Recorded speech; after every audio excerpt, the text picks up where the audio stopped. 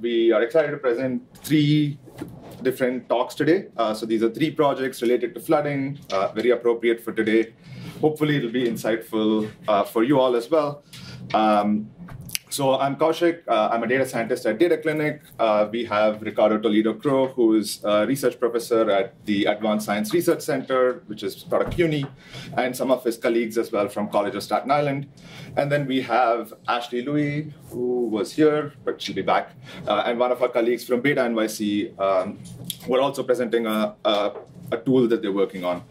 Uh, so these are kind of like lightning talks. Uh, we're going to do three quick sessions, about 10, 12 minutes each, uh, and have all the questions at the end.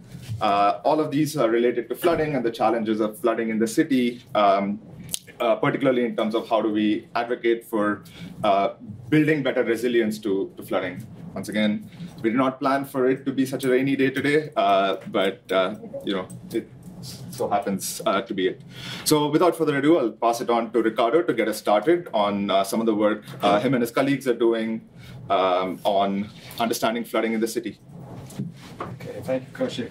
So hello, everybody, and thank you so much for this opportunity to present uh, our work in, uh, in what is really a scaffolding for an urban compound flood model using a number of data sets that are openly available, as well as some tools uh, that are open source uh, for this purpose. And this is a group of us from, from the City University of New York, um, College of Staten Island, Advanced Science Research Center, and Hunter College.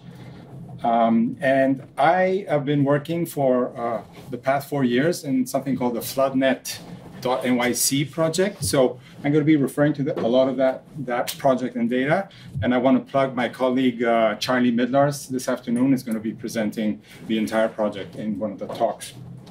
Okay, so the big, big picture of what we're trying to do, again, uh, here on the, on the left-hand side, we have the model itself. So it's, uh, you know, it's the hydraulics, the, hydro, uh, the hydrology, um, the, the, the engineering part, um, and this, this model takes in historical flood data as well as meteorological and forecasting data, and it tries to come up with a prediction. So it updates the prediction of where and when things might happen. That information would go on then to uh, the city agencies for planning and action. It will also go to the uh, communities that are at risk of flooding as, as warnings and, and uh, advisories. Um, but the important and the novel aspect here is that now we have this thing called FloodNet, sensors that are now uh, providing data that we can then compare with the prediction and then do a correction to the model. So we have this feedback loop, which I'll be uh, coming back to a, a, number of times. I also have this line here where I have community engagement, which is a very important source of information as well. And community, this is in the in the biggest uh, sense possible. It could be neighborhood associations or it could be the media. And all of this is feeding back into the model in a constant loop of updating uh, the prediction and, as we'll see later, the possibility of actually modifying the network itself. All right, so we, we have three initial, uh, we're going to do this in hopefully three steps. The initial step, what we call the sandbox, is that we're working on the campus of the College of Staten Island in, in, in the central uh, part of Staten Island. And we start there because that's where we have most of the information, that we have a lot of the, the, the um, the, uh, the, infrastructure information there. And then uh, the next step will be to take it some of the uh, flood-prone areas of, of Staten Island. There are a lot of them. And uh, lastly, we would obviously like to take this uh, to a, a scale for the whole city. All right, so our main tool for this is something called the Stormwater Management Model, or SWMM. It's a, it's, a, it's a piece of software. It's a package that was built by the EPA, and it's about over 50 years old by now, so it's very well debugged, very well uh, understood, and maybe a lot of you have either used it or parts of it or different iterations of it. Excuse me. And it has a number of objects in it that makes it very useful. Uh, you know, we things, have things like green roofs, um, uh, uh, the porous pavement. So all of that can be incorporated into these objects of, of, the SWMM model. And by now, since it's been around, and it's open, there are about you know, 14, 15 or more um, uh, platforms that actually use it. And in our case, we'll be using the EPA SWMM model, the original one, as well as something called PySWMM, which I understand is a, is a wrapper pretty much of, of the EPA. Okay, the parts of the model, and bear with me on this complicated slide. So it has some sources and sinks of water.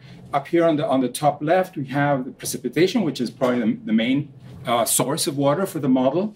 Uh, it goes into the model itself here called the initial abstraction, where we have the hydrology, hydraulic, hydraulics, and then anything that doesn't go into the into the to the pipe, so to speak, will be runoff.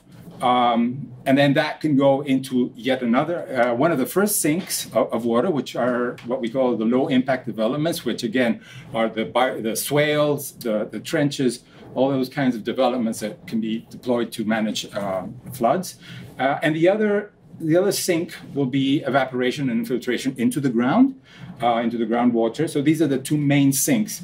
Now we have other sources that go into this model. Uh, the bottom right has the rainfall dependent inflow and infiltration. And those can be breaches in the, in the sewer system where groundwater or even sanitary flows might be entering the system. And then on the left, we have obviously the sanitary flows, and those are very important. In New York City, they might be combining with the, with the storm water in, in the combined sewers or not, you know, depending on where you are in the city. Uh, and then this last box called the buildup, and that's where you can actually input the uh, parts from other such systems like this. So you can actually join these modules together to make a bigger, a, a, a, a bigger system. All right, so jumping into what we're doing at the college, here we have aerial view of the college and surrounding college campus and surrounding neighborhoods. Uh, from the digital elevation model files, we got the, the, the subcatchments where, where water would be flowing. And we will be focusing only on S2 and S5, which are the ones that actually correspond to the, to the college. And here you, you have the outline of the college, and to the left we have uh, Willowbrook Park and Lake, where there, there is a capacity for water accumulation. And then farther went to the west is the Freshkill wetland, and this is all in central Staten Island. Uh, so, so these are really the, the, the, the, the elements of the model. We have S2 and S5, the subcatchments. We have the input, which is the Mesonet uh, weather station right in the middle of the campus. And then we have one of the floodnet sensors on the output on what was called the pour point, where all of the water will be uh, passing and, and, and thus measured. And that's a photo of the sensor itself. It's on a, it's right at the culvert that goes below the road into the, into the into the lake, uh, Willowbrook Lake area, and and you see it there on, on the right. It's attached to one of the uh, USGS uh, stream sensors that hasn't been working for a number of years. Okay, so from open data, uh, this is one of the data sets that we're using. This is the, the catch basins. And it's important to note that uh, there are several of them in that S2 subcatchment area that, that, we defined. And I want you to keep those in mind because we will consider them separately. Uh, so these are um, the catchments that are going into the, into the sewer system of the city. Um, here we have uh, data from the uh, average impermeability uh, data set, and I will mention all the data sets that we use at the end, and we can discuss those uh, offline. Um, and now, if you remember, we we actually divided S2 into four parts, and the reason we did this is because, as you can see, there's a number of, of these catch basins inside this this uh, subcatch, and we are going to exclude them from our calculations because we know that water is being diverted out of our system. So we're actually just going to be using S2A, D, and C here.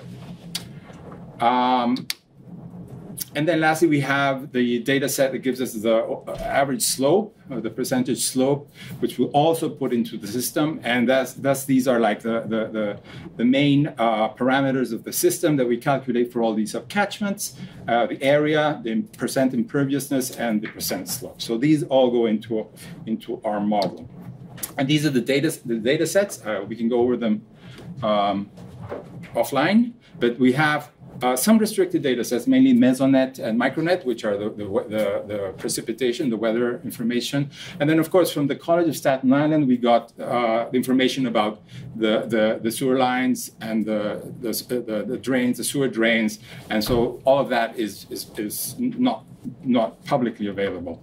But the open source data sets obviously are the, the digital elevation models, the permeability uh, surface type, and the surface types as well as the catch basins. And then the open source software that we use is the EPA SWMM, the PySWMM, and some other tools, ArcPy and MATLAB, which are not necessarily open. All right, so see, this is some a couple of examples of the results that we have. So on the top here in blue, we have the rainfall from the Mesonet station. In red in the middle, we have the output of the SWMM model. And at the bottom in light blue, we have the actual data from the sensor itself. And you can see this is over a number of days uh, early in January last year. Uh, we, we get a pretty much good approximation to, to the flood uh, measurements. We, we still have some some aspects of it that we're not catching. However, if we go into a single day, like uh, this is September, end of September last year, we had the that, uh, remnants of, of, of the storm that caused so much flooding, and we see that indeed in this case we do start to see a little bit of the the the the, the features of the flood itself, uh, including the slight uh, delay in time from the Mesonet uh, information. So these are these are the data, the kind of data, the, the results that we're seeing. Okay, so now I'm going to jump briefly to um, an example of the data that we're getting with the FloodNet. And what I'm showing here is the elevation on the Midland Beach area of Staten Island. It's an extremely flat area and it's at sea level and so it's it's very prone to flooding. Um, the city has a development there called the New Creek Blue Belt, where it took uh, one of the waterways there and it actually enhances its water management capacities. And those dots in red are some of the sensors that we have around the area. Unfortunately, we're not able to put them before the development, which would have been great to do a before and after comparison. But this is the kind of data that we are picking up. Again, this was uh, late September last year and and this is an event. This is a, the, the, the, typical signature of an event. So in light gray there, you have the rainfall, and on that day, you can see uh, on the left we have the location of the sensors, and on the on, on the right you have the the, the sensor the sensor depth of flooding reported as well as the rainfall. You see that at four o'clock in the morning we have the first cloud burst, and we start seeing uh, a flood uh, accumulate at the lowest uh, on this sensor here, which is at the lowest point of this waterway, which is the blue, the, the New Creek Blue Belt. Uh, and it grows and it stabilizes. And then at 7:20 in the morning, there's the second cloud burst, and then you start seeing the floods on all of the other sensors. Uh, so that's a good two and a half hours uh, two and a half hours uh, delay. So this gives us a lot of opportunities to do forecasting, uh, especially we can do a, a, holistic analysis of these sensors. So just to go, come back to this idea of having the data inputs, the model, and then and the comparison with with the with the flood sensors as in a, in a, in a feedback loop. Uh, I'm gonna I'm gonna wrap up with this picture, which is like the status, the current status of the FloodNet network. It's we have about 100 sensors out there. Uh, these are dots in red. The dots in, in the, the other dots represent uh, rain rain gauges or, or, weather stations. So we have actually a very nice coverage of the city. The intent is to grow the number of floodnets to floodnet sensors to 500. And this will give us the opportunity of making a very nice uh, node-based network. So if we have 600 nodes, that is a total of about 180,000 connections, very manageable in today's uh, type of uh, computing facilities. And uh, we expect to be able to both verify the, the quality of the data as well as to do the predictions that we're looking for. Okay, thank you.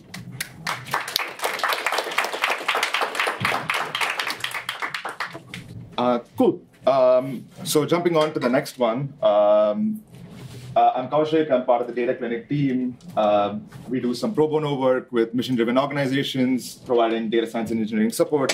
And we've been interested in the topic of, of flooding, uh, particularly in the context of how it impacts uh, transit, public transit in the city. Um, but also we've been in conversations with, with the FloodNet team since late last year, uh, and we thought, given some of our experience working with open data, particularly transit data, how we can supplement and uh, support, uh, you know, this sort of understanding of flooding in the city. So why are we even doing this, right? Like putting floodnet sensors everywhere and trying to measure flooding, because getting a very granular understanding of flooding, uh, how it occurs in the city, is really hard. Uh, you have these large models, you have data from FEMA and other things, which are fairly wide and broad, uh, but it doesn't give you a very narrow perspective. Is this particular street going to flood uh, for a particular type of storm? And that is what FloodNet and the team, uh, um, Ricardo and others, are trying to solve. Like, can you actually, using this sensor data, build a model that will help us understand at a very granular level what flooding would look like in, in our city, not just now, but in taking into account sea level rise and challenges with draining water out and so on. Um, the New York City DEP also has a stormwater flooding model, which takes into account these sort of sea level rise scenarios. And then there's another organization called First Street Foundation, which has a, a flood risk factor, uh, which is sort of a composite model. It takes into account data from FEMA and a bunch of other sources and creates sort of estimates of which properties are more likely to flood. Uh, so our question and, and where we come in, uh, you know, our question was, can open data supplement this process in any way, right? Like we have all of these, obviously like FloodNet and the project is fantastic, but it's an infrastructure challenge. You need to set up these sensors in a lot of places. Takes time, takes money to like scale this. We hope you know it'll get there sooner rather than later. Uh, but can we, in the meanwhile, supplement this um, information with other open data sets? Uh, so this is where we sort of thought, okay, we want to try and understand which roads are going to flood. Uh, and New York City has a pretty fantastic transit system. Uh, this is the, for example, the bus uh, map of Brooklyn, which spans most of the streets, right? In Brooklyn, there maybe not 100% coverage, but a lot of Brooklyn is covered by these bus routes. Uh, and data about buses is public. So can we actually look at how buses are moving through traffic on a on a rainy day and figure out where there might be challenges with respect to flooding or stagnation or just disruption in general uh, due to due to storms. Uh, so the real-time bus data is called GTFS. Um, this is what uh, you know feeds your uh, timetables on that you see in subway stations, the bus time app, and, and so on. Uh, this gives us like minute by minute locations of buses, uh, which route the bus is on, which trip it's on, what time is it, and what's its coordinate. Uh, this is available live from MTA's API, but very uh, good person at uh, at uh, Cornell Tech, uh, Anthony Townsend, who I need to shout out Noel there, who connected us with them, has archived this data for a long time, right? So there's the Bus Observatory API, which you can use to basically get historical bus locations, which help with analysis like this. Um, so in, in this talk, I'm going to focus in on, on one week of data. So this is uh, September 7, one and a half weeks, let's say, uh, 17 to the 30th, because this covers the, the storm that we had on September 29th last year, where Brooklyn received four and a half inches of rainfall in under three hours, and there were severe like consequences because of that. So our goal was, can we actually detect this happening uh, through data from the MTA, uh, which is all open, which is all public? The first thing we did was okay, uh, MTA sends out alerts, and this is also public. Uh, are there actually alerts when buses are bus routes are getting disrupted, or if a bus is rerouting or service is stopping? Um, but what we saw was uh, these were typically very broad alerts saying, we caution people in Brooklyn, there's severe rain, buses might be stuck, buses might be uh, you know, rerouting, or uh, there's reduced service. Uh, so it doesn't give you a very narrow understanding of what's going on. They also appear with a delay. So the rain started around 9 o'clock, 10 o'clock in the morning. Uh, the first alerts came around noon. Uh, so it doesn't actually map to when the, the uh, flooding is, is starting. And it doesn't, like I said, help identify specific locations. So the next thing we looked at was uh, bus speeds. Uh, so we have the positions of all the buses for every minute. Uh, and the hypothesis is if there is actually flooding on the streets, then this would disrupt movement of traffic. Uh, fairly big hypothesis, but maybe not so much for severe storms, right? And we can calculate this real time. So we can calculate how fast a bus is moving at any given point in time. And it helps us identify specific street segments where a bus's behavior is different from what it might typically be. Uh, going one step beyond, uh, this is not something that we haven't worked on yet, but uh, we want to try and understand are buses forced to reroute in, in these scenarios? Like, uh, is there a deviation in the route they take from what is supposed to be a bus's uh, path? Um, slightly harder to figure out, but something we hope to work on. So, uh, based on doing this analysis, again, this is fairly rough because it's our first iteration. We hope to clean this up and, and make it more robust. But we looked at sort of roughly the average bus speeds uh, afternoon of the storm, which is on the 29th, and compared it to the previous Friday, uh, which was a sunny day. Uh, so, like a rough estimate or approximation of what is typical. And we saw that on the day of the storm, uh, in general, there was a slowdown across the city. So all the buses everywhere in the city were moving roughly 10 to 15% slower than their speeds a week before. And specifically in a couple of parts of Brooklyn, so uh, Williamsburg, Flatbush, and further down, uh, there was much higher uh, sort of slowdown or disruption essentially, with buses running really nearly 40% slower. Uh, a caveat to this is uh, this kind of surprised us um, is there was actually much lower service as well on this day. So I think at some point the MTA decided that uh, you know the buses are getting stuck, so we got to reduce service. So in the four-hour period from 10 to 10 a.m. to 2 p.m., the number of buses out on the streets were like roughly half or, or three fourths of uh, a typical Friday. Uh, so that's a little bit of a nuance when, when trying to use this data to detect uh, flooding. All right, so uh, zooming in further, obviously the reason why we're doing this is to get very granular information. Uh, I don't know how easy it is to see with the contrast and stuff, but this is a street map of Brooklyn uh, where the yellow streets are where we saw the greatest deviation in terms of bus speeds. Uh, and the more green and purple you get to, that's where you have uh, fairly similar um, uh, speeds as, as a Friday before. Um, and this matches up with what we saw and what we know uh, in terms of reports that came out. Uh, you know, parts of Williamsburg, parts of Flatbush, uh, some other streets um, in Brooklyn where we saw reports of, of flooding and disruption. Uh, but you know, this is sort of a first pass at it. Uh, we're somewhat happy with the results, but obviously we can, you know, con- continue to work on it and, and improve the the analysis. Um, some of the most disrupted bus routes were the B48, B70, B8, B61. Uh, I'll talk about this very briefly in a little bit. The cool thing is we, we can't do this just for like, you know, Brooklyn. Uh, it's very easy to scale this analysis to the whole city. Uh, so this is a picture of Staten Island and, and what disruptions look like or, or slowdowns look like on specific street segments uh, on Staten Island and Manhattan and South Bronx as well, with uh, the bus routes that were most impacted here.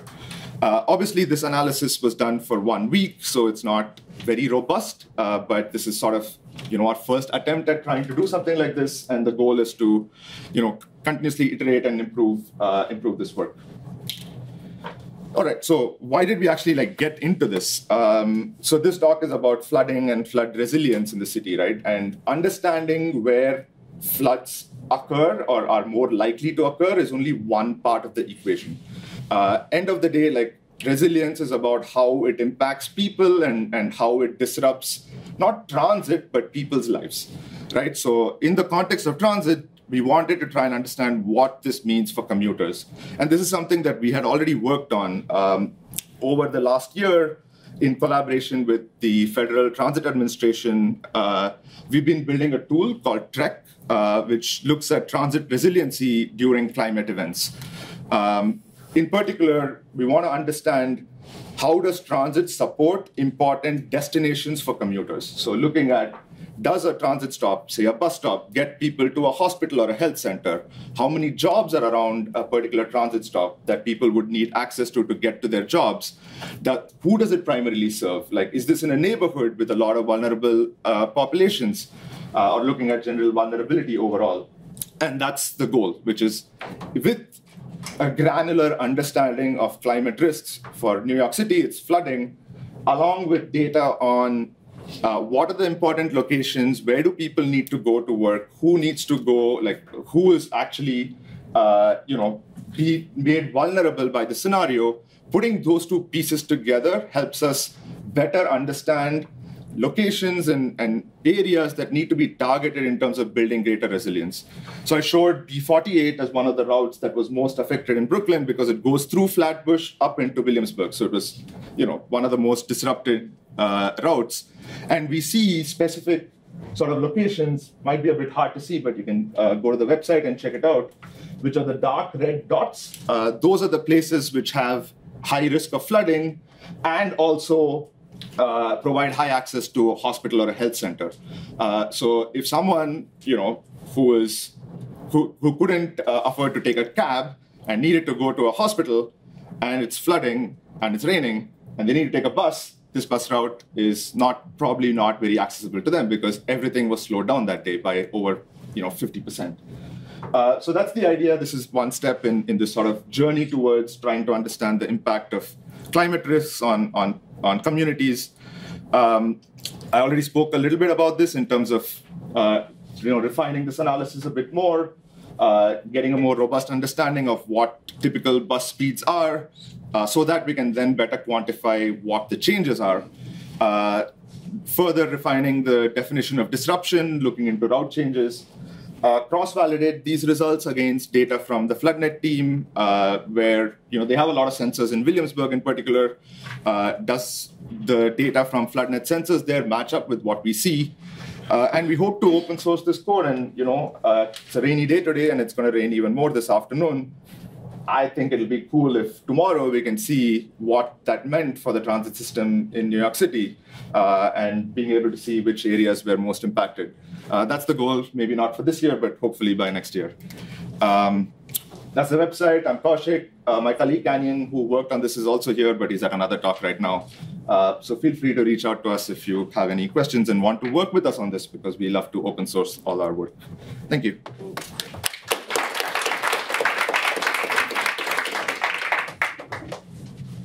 Hi, everyone. Uh, I'm Vaishali. This is Ashley. We're both from Beta NYC, and we'll be presenting FloodGen, which is a flood advocacy tool using AI generated imagery. Um, I actually was a former associate at Beta NYC. Um, I worked there as a data analyst, and I started work on this project, and Ashley and the team have really taken it forward. And yeah, I'm excited to be back and presenting on it. Yeah. Thank you. Um, let's just dive right in. Yeah. See. Um, I know we talked about this earlier this morning, uh, but we are Beta NYC. This is a project that was developed out of the Civic Innovation Lab branch of Beta NYC. Um, and we want to walk through like kind of this as an example of one of the, the projects that we do in the lab. Um, so we're really excited to launch this tool. Um, you can go to floodgen.beta.nyc to check it out yourself. Just a fair warning, we're we're still like a bit in beta mode, so if you run into some bugs, like uh, we're working on it. okay, so uh, 1.3 million people in New York City um, live within or directly adjacent to the floodplain.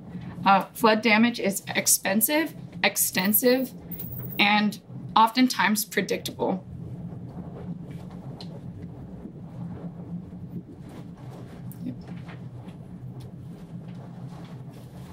Maps of predicted flooding are helpful planning tools, but aerial views distance the viewers from its potential impact. If we show the reality of predicted flooding through photorealistic imagery, could people be more prepared? So this image right here, um, it was uh, generated using um, AI generative technology. Um, it takes a street view input and runs it through a technology called CycleGAN and recreates the pixels to render the flood um, in in the view. So we have the ability to um, render the flood at various different height thresholds. So you could visualize minor flooding, moderate flooding, or major flooding. Um, but in launching this tool, uh, we really want to create awareness for communities who have not yet experienced flooding, create evidence for communities seeking resilience funding and projects. So some communities have received uh, um, repeated have experienced repeated flooding, but they have not yet received the services to address those issues in their neighborhoods. Um, and then thirdly, we want to um, make this tool available to decision makers to respond and support advocacy efforts. Um, and Vaishali is going to walk through the prototype.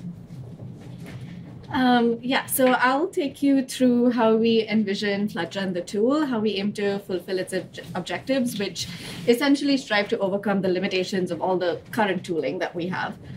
Um, okay, so what is FloodGen? It has two parts to it. It is an interactive web map where users can explore flood data and view AI generated flood images of uh, street views in certain areas.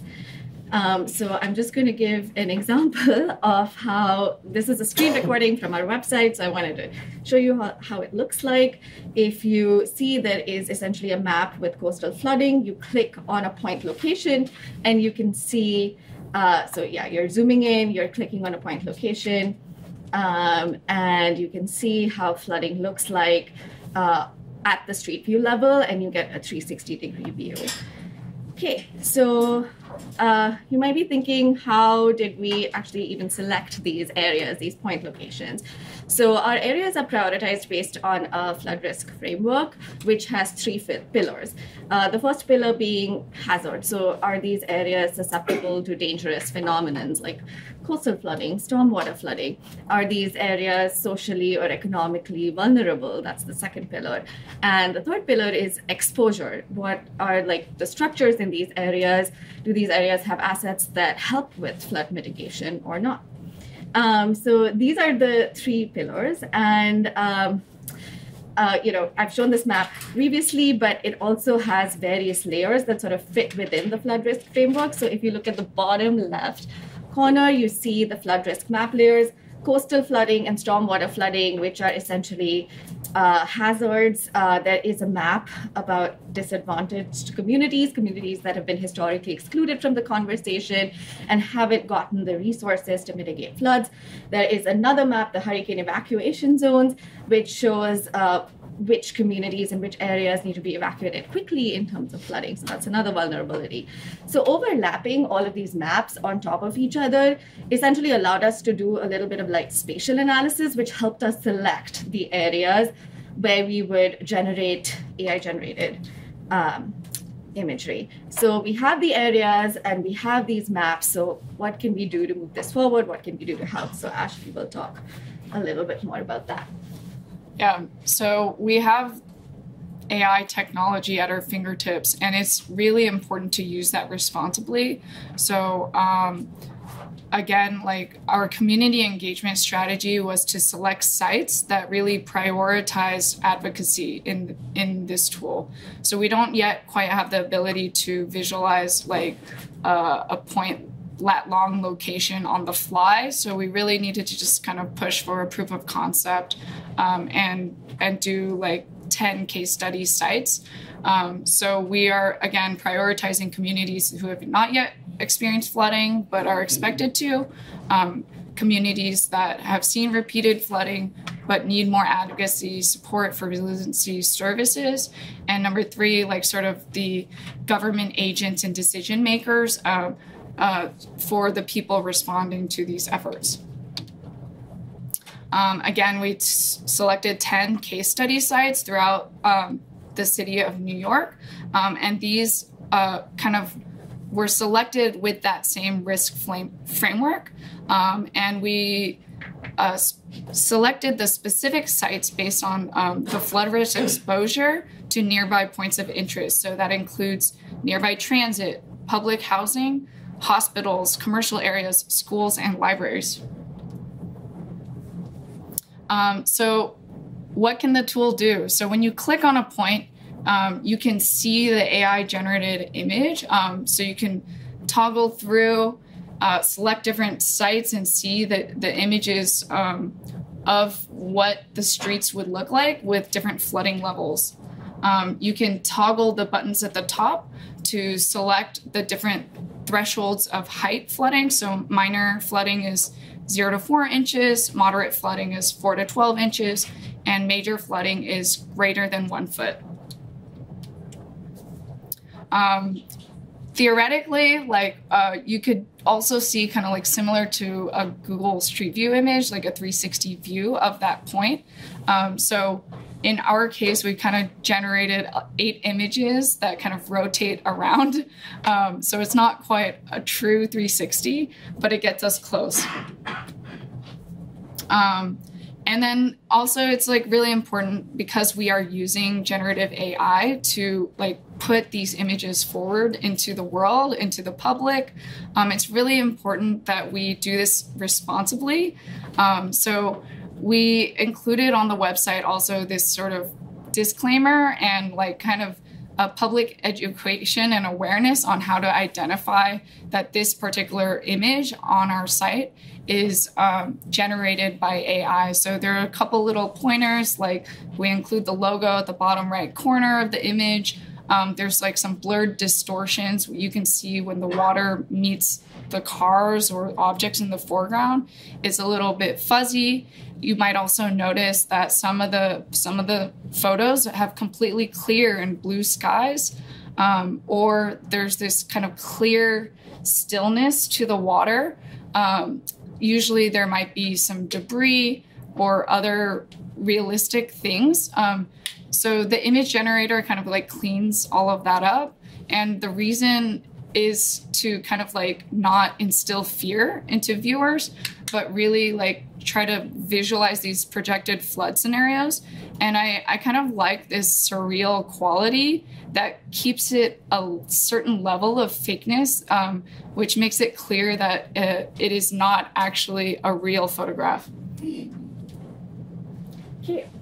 Um, so I'm going to give a little bit uh, of insight on how FloodGen works. So we have um, the concept of generative AI. Ashley's talked about it. You've probably heard it in association with ChatGPT, DALL-E, all of that. So it can develop realistic images of predicted flooding in streetscapes. And this right here is an example of a photograph that we would want AI to sort of emulate. Um, okay, so how do we do this? Um, we to do this we use an image to image transformation architecture known as the CycleGAN. And to achieve this image to image transformation, this is a very like rough sort of diagram, uh, simplified diagram on how the CycleGAN works. So the CycleGAN sets up two types of AI models. The first model is called the generator, and it's responsible for creating transformed flooded images from a non-flooded image. Uh, the second model is known as the discriminator, and it acts as a critic, trying to distinguish between real and generated flood images. So the generator's job, which is the first AI models, its job is to try and outwit the discriminator by generating flooded images that are as close to ground truth as possible. Um, so that is how we get our realistic flood images. Um, okay, so this uh, is an example of the AI generated flood imagery uh, we had a model that we trained with stimulated and real data. We also built this model uh, about, uh, on, upon like an already existing model uh, known as the Climate GAN. Uh, we had to train that model with some more cityscape views um, in order to make it more accurate, specifically for New York City. But you have an input, which is a non-flooded image, and you have an output, uh, which is a flooded image with floods of a certain height. Okay, so we have this knowledge of the capabilities of Gen AI and our precedent projects. So again, coming full circle, this is how we envisioned our tool. We have a map that showcases different types of flooding and you know a few other flood risk layers. Uh, and then we have the user click on a specific vulnerable location on the map and see a 360 degree view of how different types of flooding, minor flooding, moderate flooding, and major flooding look like.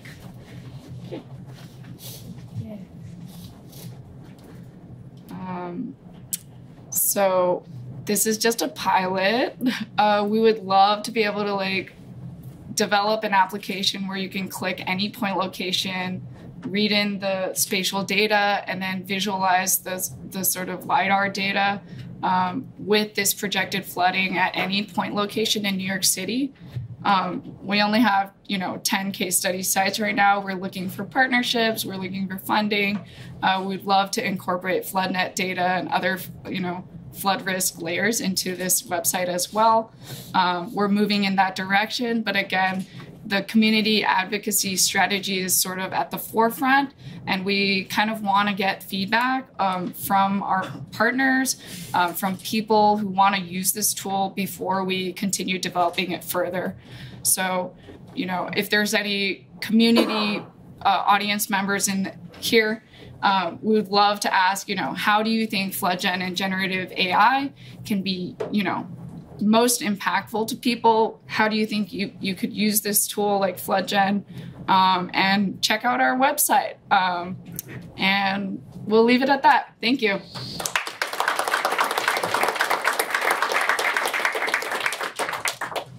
All right, thank you, everyone. Uh, so those were the three sessions. Uh, all three, I mean, I don't want to speak about myself, but super interested in FloodGen. Really excited to see the work that uh, Ricardo and, and, his team are doing in terms of figuring out and mapping flooding uh, across the city.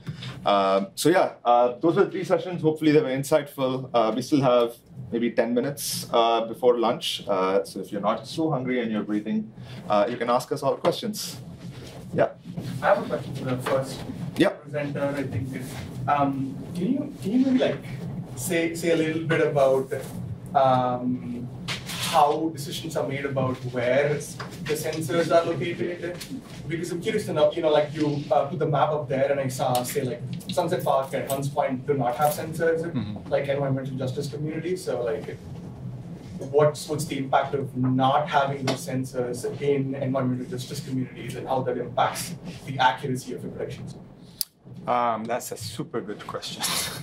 and it's one we grapple with a lot. So we look at ourselves as having three three um, user user bases, right? The first one is the city, obviously, uh, the city agencies. Um, the second one is the communities, and this is obviously anybody in the city. And the third one would be researchers like myself, right? These are sort of our, our three our three um, constituencies, and uh, so we get requests uh, a lot from the communities and we get a lot of requests from the city, which in many time, many many cases are also from the communities, and then we have like a triage process, and that really depends on um, the the uh, availability of infrastructure to mount our sensors. That's that's important, um, and, and, and we also go through a, a, an analysis which is similar to what um, the the last uh, presenters, the Beta New York City presenter, we have exposure, risk, and susceptibility. Now, what we're finding, and this is really what is uh, something that we have to grapple with, is that uh, the information that can drive these things really depends on the representation of the communities. And a lot of these communities do not have a representation that others do. So, you know, communities where there are a lot of homeowners, they have a civic association who is very organized, they go out there, they, make their case. Other communities, uh, especially where there are, uh, you know, uh, less economic development, um, they don't have that.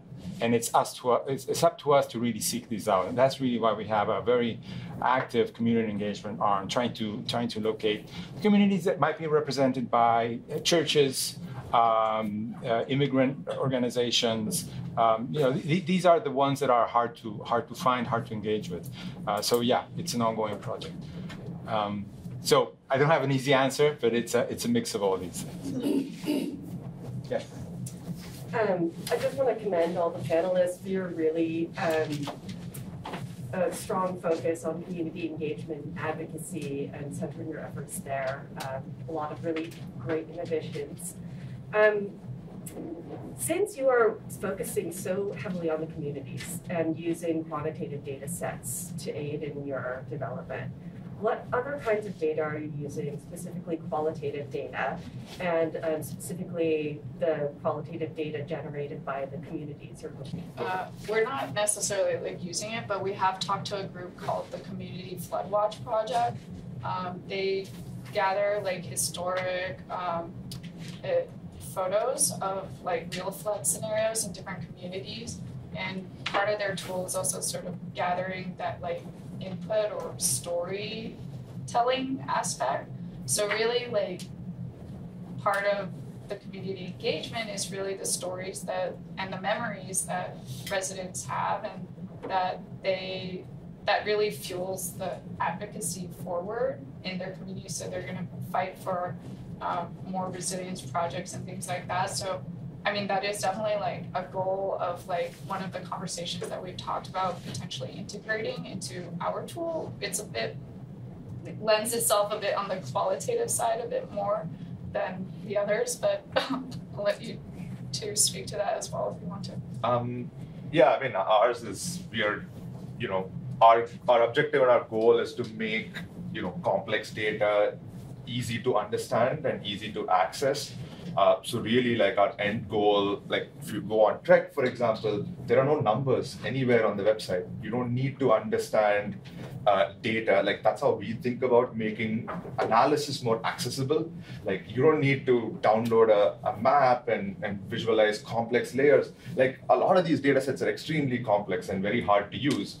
And the way we think about it, and, and through conversations with, uh, you know, community organizations working in this space, uh, not just in New York but but across the country, is how do you take complex data and make it easy to understand so that they can very readily use insights from it uh, without, you know, uh, spending a lot of time trying to understand what uh, a value means. I saw you next, so come back. Yeah, yeah just um, quick question about FloodGen. How, and this is more of a technical one, I guess. Like, in terms of like generating how high the water level is through generating action, just kind of walk us through how that is calculated. Yes. Um, so there's actually uh, two parts to it. One is that the model itself contains a depth decoder so it can figure out how close or far a certain image is, a certain part of it, the image is, um, uh, based on that depth decoder and will generate water levels accordingly because when we see an image, it's essentially 2D, so certain yeah. height levels of the water need to be different. Then there's the second aspect to it is like flood levels themselves. Like sometimes there's excessive flooding, like major flooding, and then there's moderate and minor. I actually had a slide about that, but we cut it due to time. So we have uh, this uh, LiDAR data that allows us to essentially uh, get a mask from ground level. So we get a mask of a certain height. We superimpose that mask with our flood image, and then the pixels that are present in that mask are essentially there, and then the pixels that are not present in this mask are, you know, deleted. So we get floods of certain heights. So we get depth perception, and then we get flood height. So hopefully that sort of answers your question. The LiDAR data, is that coming from, are you doing, actually doing these scans yourself? No, we're not. We Oh, have a, It's from like Cyclorama Oh, Cyclorama. okay. in New York City. Okay, Yeah, and it's like being straight, pretty much. all right. Yeah. Yeah, I, I- this is all super awesome. I had a question for the first team, um, whether you were looking at incorporating loss functions at all into your work and trying to understand, um, you know, the impacts of these flooding events and how that might inform hardening or uh, manage retreat decisions. Um, I'm gonna ask Mike, who's our modeler, uh, to to address that. So, so are you suggesting that, um, are we doing things with our results that will advocate for hardening? Um, so like if there were a loss function, so that would translate the amount of severity to an estimated like amount of the building or property that's lost. Yeah. That would then like be fed into Yeah, a cost benefit analysis. Yeah, so I would say, um, right now, I, I, it's a great question, and a lot of the loss, an- a loss analysis in the Hurricane Sandy that was done on Staten Island has motivated us to choose the areas near the Blue Belt, and it's motivated the city, uh, to develop the Blue Belt in this, in this area. And, um, right now, that's the, we're, we're doing Midland Beach Blue Belt, we moved to South Beach Blue Belt, which hasn't been built yet. But that loss analysis was fundamental in the decision-making that the city did and others, uh, and insurance companies, for example, to understand where we should harden it. Um, the biggest hardening uh, piece of it is a seawall, which is uh, is going to be built along that whole uh, shoreline, running from like Great Kills all the way to South Beach.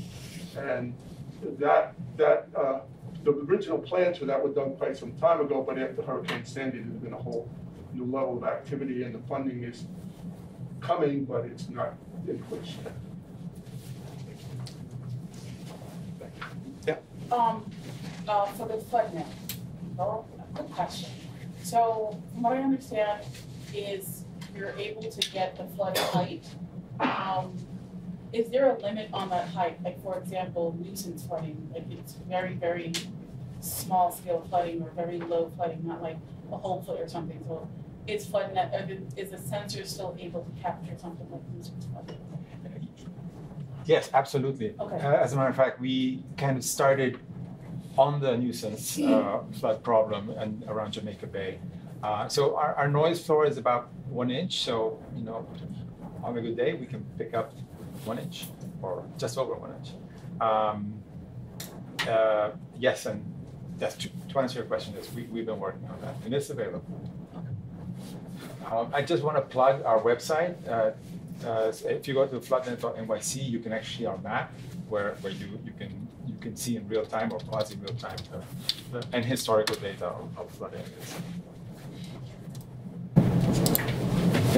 Uh, my question is echo on previous question about the complexity sets. Um, so it's kind of deal with architecture. So do you um, clean up the, data, um, like some kind of uh, methodologies, like in warehousing, star schemas, or do you just like kind of go off the raw data and clean it up and you know, each time a reusable model? Yeah, yeah. I mean, the end goal is to productionize this and, and create a, a robust pipeline. Uh, GTFS real time is massive. Uh, looking at, you know, there are so many bus routes in, in New York City. Uh, and this is just New York City. If you expand to New York metro area, way more. Uh, and this is one ping every minute for every bus. Actually, I think you can get like even higher resolution. The archive values are once a minute. Uh, but I think real time you can get a ping from a bus every 10 seconds. Uh, so definitely like scalable architecture and so on. So you know, for this analysis for today, which is why we focused on like one week, the idea is to build a process that we can uh, every day or like say every hour run through because they're independent. You can like do the analysis and calculate speeds on every route segment uh, for a day. And then how you put together is now a much simpler problem because you're broken down the thing into these are route segments on this time, on this day of the week, uh, in this month, this is what the speeds were. And then you're looking at distributions and, and you're, you're working in like in a in the distribution domain rather than the raw data, uh, which simplifies it. Rather than real-time data, um, have a more reusable data, things that are more static, and maybe this data set um, also has another data set, also has you got to pick one or the other, and to kind of simplify, uh, normalize the data, you got to pick one. I don't think I fully understand the question. I don't know how- Okay. Uh, But the, the is really uh, very uh, impressive work. Uh, uh, my question is uh, that uh, when the AI generated the flood on the street, um, I know that probably the black box, uh, the algorithm used, you not consider like um, the, the elevations and the, the, the type of soil? uh, Yes. or, or any like a, uh, drain, uh, storm sewer, and uh, is there any consider any of those informations? Yes, so we did train it on that kind of data, and also the model that we built this on top of, Mhm. it did train it on that kind of data. That's why uh, we also had stimulated data, so specifically we could get data of like drainage and stuff like that, but it's not perfect. The drainage specifically, I think there are certain aspects of it, it floods at certain heights, it does not generate those images. And in order to also make that black box more, um, like, you know, to actually see what's going on in that black box, they did have like the depth decoder and the segmentation decoder. So um, that would help us see that, okay, these are specific areas where we can generate the flooding in. So we could see how the model was learning when it came to uh, sort of like getting water around a tree or like around a fire hydrant or something. So it does have like these uh, different parts to it, which allow us to like make the black box more transparent instead of just data in and data out. Uh, again, but to answer your question, like the training needs to like sort of um, we need to train it with more like soil related and drainage related stuff to make it more accurate. And it's interesting to uh, to know uh, if uh, you can uh, use the AI generated uh, street flood image compare with a real field photo photo of the street on the same events and see if, if there's uh, how much difference. We actually did that for the September 20th flooding. There was a talk we gave. We all did, yeah. Yeah, we're like, oh, how, how does this Very work? convenient. Um, it was, it was good. Next I year we'll think talk it was at least like to put a few images. Of course, um, not perfect for a lot, and the model has been trained since then. But yes, that is a very good idea that At we least keep with- incorporating. We have done that once before, but I think we definitely do more. I just want to say the the point is not like hyper realism either because we can take photos for that, right? Um, really, like it's more a speculative tool, like for areas that are not yet prepared to deal with the flooding yet, or maybe there's an area you don't have the imagery for yet. So I think the generative AI kind of fills that void. And another avenue that like this predict sort of generative imagery could be useful is like uh, for weather forecasting, like if there's anticipated X inches of rainfall, maybe like when pairing it with like, you know, proper drainage calculations, we could say this is gonna equal X height of flooding on the street, and this is what it might look like um, one day, you know. The So ultimate like goal, Include right? our model with your with Yeah. your product. So it doesn't need to be like hyper realistic, doesn't need to be like one hundred percent accurate either to like communicate what it needs to do. Last Yeah, question. Thank you. Regarding the aftermath of a flood event in the city, what are the current pathways for repairs and damages that the individual homeowner or renters? uh, Is it the onus of the city to remediate damages, or is it an individual responsibility? Most of it is covered by insurance. So as a property owner, you would have insurance which covers flood damage. Um, at the city level, damage to city infrastructure would be different, obviously. Um, and I'm not the best person to speak about that. You ask a really important question. Yeah. It's a very, very important question. I mean, I say this, be- I say this because I lived through Hurricane Sandy when many, many people on Staten Island went through exactly that situation. And, um, you know, FEMA, of course, plays a major role in terms of providing funding. And there's a, a, a lot of, um, re- requirements and rules in that regard. And, uh, then, of course, you have flood insurance, which is very limited. People may think it's very broad and encompassing. It's really not. It's very limited. Uh, so you have to kind of work through that. And during Sandy, New York City was very, very helpful.